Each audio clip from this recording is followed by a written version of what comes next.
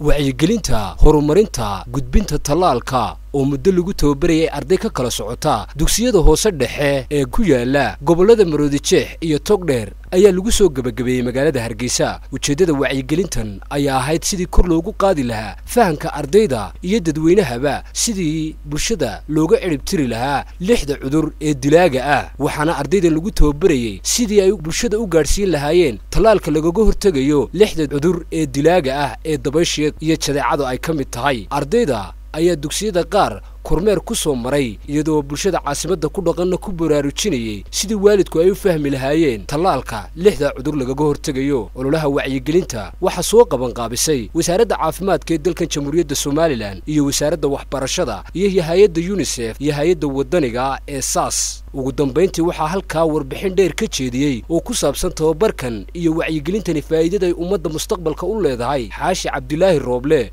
oo ah madaxa wacyigelinta ee hay'adda waddaniga ah ee saas maanta waxaa la soo gebagabeeyey toddobaadkii tallaalka afrika oo ay soo bilaabmay afar labaatankii bishan ay ka qayb qaateen ay fulinayeen wasaaradda wasaaradda caafimaadka wasaaradda waxbarashada hay'adaha gacanta ka geystay ee kale iyaguna la shaqeeya ay ka mid yihiin unisef w h o waxaa kaloo soo qaban qaabisay iyaduna hawsha qayb lixaad ka qaada soo fulinaysay hay'adda waddaniga ee solsa oo iskuullada hoose dhexe ee gobollada gobol ee maroodijeex iyo togdheer.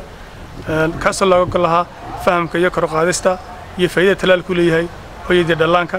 Toddobaadkan tallaalka afrikana waxaa halkudhig loo qaatay cudurrada waxaa halkudhig loo qaatay ujeeddada looga gol lahaana waxay ahayd fahamka iyo kor qaadista iyo faa'iidada tallaalku leeyahay hooyada.